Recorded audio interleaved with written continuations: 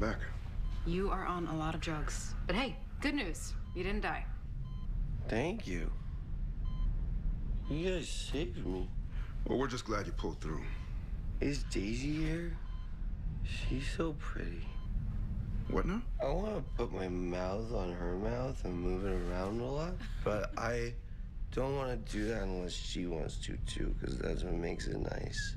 But I don't think she wants that, because she does not like me one bit.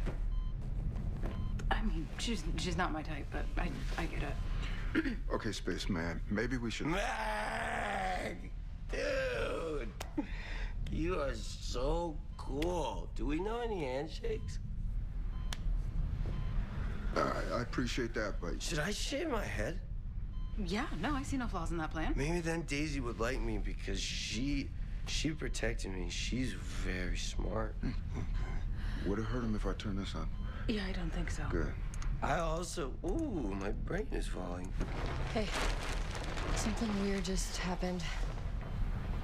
Nah, I wouldn't. Mm. Uh, remember the signal transceivers from the mechs? Yeah. We got a ping.